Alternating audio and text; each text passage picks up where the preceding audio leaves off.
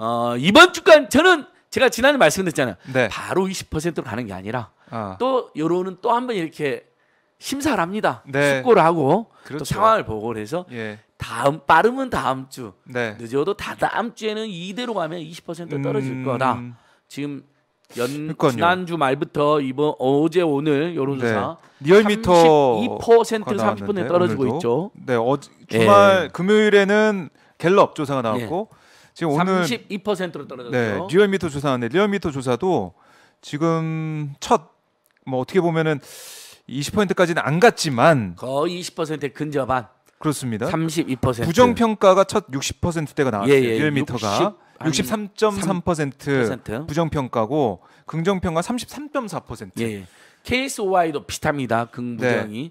지금 KSOI 조사에서는 긍부정의 차이가 30%가 넘었었습니다. 음. 처음으로 모차범위 밖을 포함하여 그럼 이 분위기면 네. 다음 주에는 20%로 갑니다. 그죠. 이 바닥이 어디일지 예, 예. 바닥- 봐야 될것 같은데. 추락하는 윤석열에게는 날개가 없다.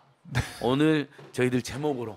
왜냐하면 날개가 있어서 우리 네. 민심을 달래주고 민생을 챙겨줘야 되잖아요. 음. 없어요. 왜? 네. 무관심합니다. 아하. 두 번째 무능합니다. 예. 세 번째 무속 비선 세력들하고 노느라고 바쁩니다. 음. 그러니까 산무죠 산무. 물론 이재명 후보도 어제 뭐 무능, 네. 뭐 무대책 뭐 이런 산무를 이야기했어요 윤석열 음. 정권에 대해서. 근데 제가 말한 또 산무는 네. 일단 국민의 삶과 고통에 무관심하다, 매우 무관심하다. 무심하다.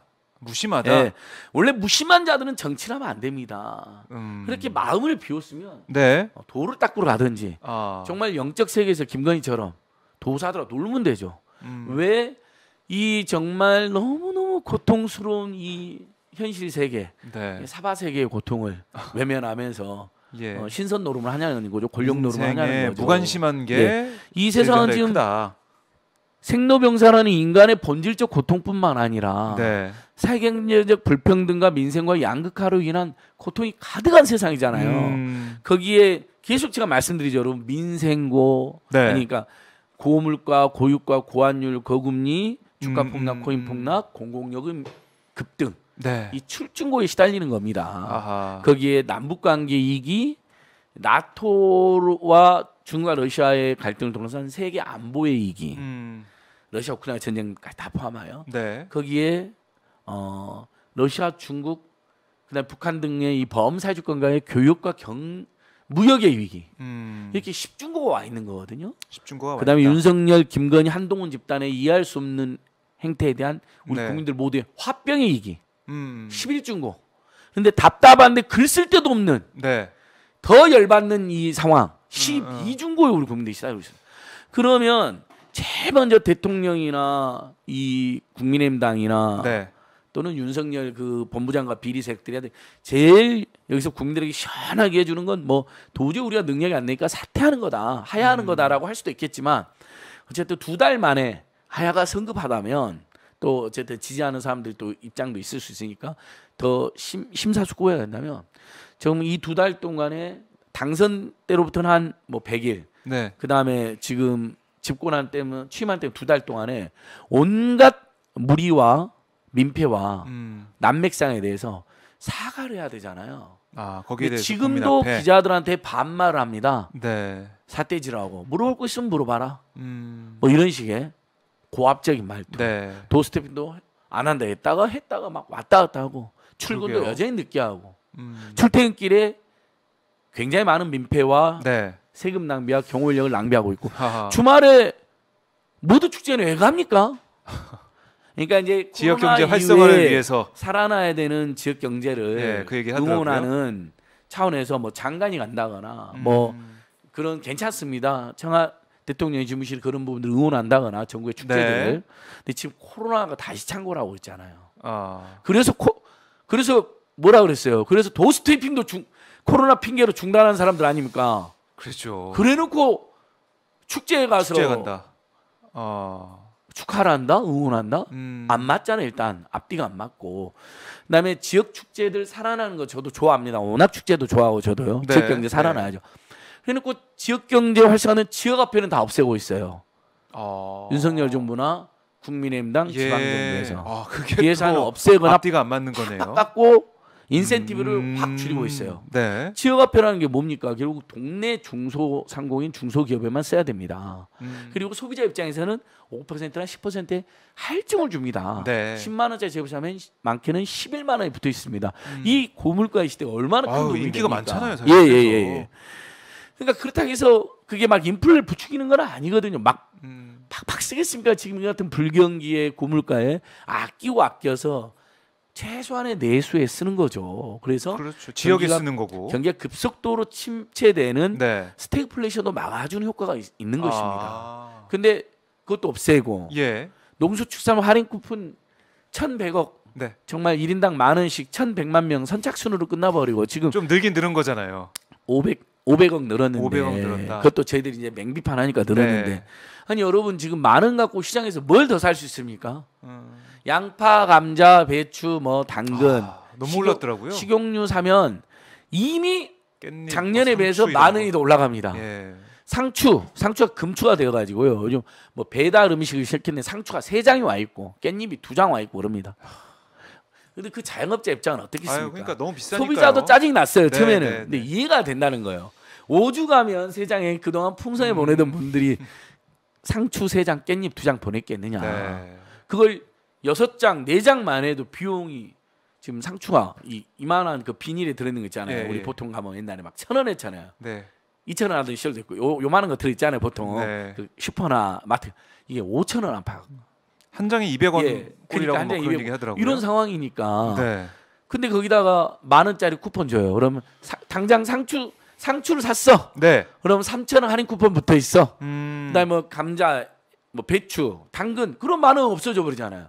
시장 한번 보면 없어져 버립니다. 무슨 네. 이게 도움이 대책이 되겠습니까? 그러니까 이제 민생에 있어서 제대로 대응하지 못했던 그런 부분들이 여론조사에 이제 반영이 돼가지고 지지율 떨어진다 이런 말씀이신데요. 그래서 다음 주에는 네. 제가 이제 이번에는 공원에서 다음 지난 주에는 음. 어한 다다음 주까지 이대로하면 20% 떨어진다는데 지금 계속 하강하고 있잖아요. 네. 그러니까 이 추락하는 윤석열 정권에 날개가 없다. 어. 왜 무심하고 무관심하고 무능하고 음. 모든 국정 운영을 무속 비리 비선 세력들하고 논의하고 네. 완전히 그냥 산무 사무에 빠져 있는 거죠.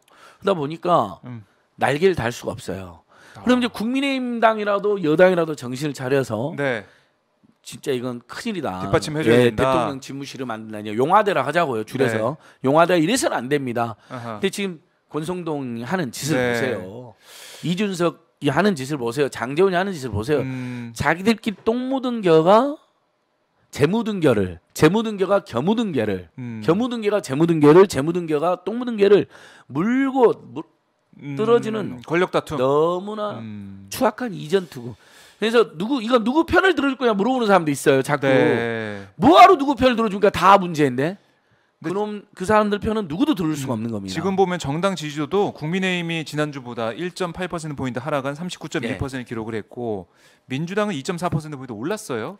예. 44.2%를 기록해서 민주당이 앞서고 있는 상황이고 그러니까 이런 추세 자체가 대통령은 부정 평가가 계속 높아가고 있고 그다음에 긍정 평가는 떨어지는 모습.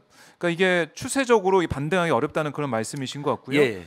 지금 보면은 이 리얼미터 조사가 그런 거고 갤럽 조사도 30%대고 이제 30%대 다 나오고 있는 거고 과연 20%대로 가느냐 마느냐 반등하냐 마느냐 그런 게 있는데 소장님 생각은 반등, 못 한다. 반등을 할 수가 없습니다. 어, 추락하는 추락하는 것이 네. 반등을 하려면 날개가 반등하려면? 있어야 되잖아요. 날개가. 그러면 예를 들면 용화대 내라도 예.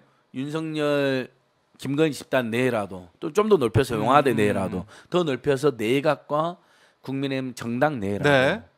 뭔가 입 바른 소리도 하고 정신이 좀 깨어 있는 사람이 있어야 되잖아요. 어, 민심과 함께 민생과 함께. 민심을 전해주고? 민생을 전해주는 얘기가 있고. 재벌 대기업의 법인세는. 깎아주고 부동산 부자들 예. 법인세는 깎아주면서 재산세 6억 이하의 서민 중산층 주택인 오히려 재산세가 어. 10% 늘어납니다.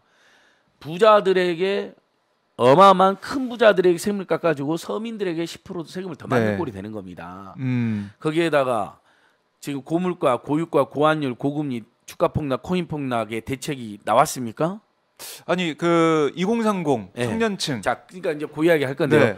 첫 번째 대책이 무대책이요, 두 번째 대책이 속수무책이요, 세 번째 대책이 공공요금 급등으로 엿먹어라 대책이요, 네 번째가 어, 윤석열, 김건희 권력론으로 합병 걸려라 대책입니다. 음. 그러니까 이제 20% 떨어진 국민인데 여기서 이제 또 지난 주말에 변수가 생긴 거죠. 음. 이것들이 조사가 지금 반영이 다 안 돼 있어요. 아. 주초에는 벌써 이번 주초에 매일매일 조사하는 여론조사 기관에는 20%가 떨어져 있을 겁니다. 전망컨대. 아. 자, 두 가지 사건이 터졌어요. 예. 권성동 지금 윤석열, 권성동, 뭐 김건희 입단이 완전히 지금 용화대를 음. 자신들의 뭐 사적 칩그 교류 공간으로 음. 친교 공간으로 완전히 전락시켰잖아요. 이, 이 엄중한 시기에. 네. 그다음에 정말 공정하고 치열하고 투명해야 될 국정 컨트롤 타워에 음. 뭐 육촌, 네. 뭐 황모 씨 아들, 우모 씨 아들, 음. 코바나 컨텐츠 직원들, 어?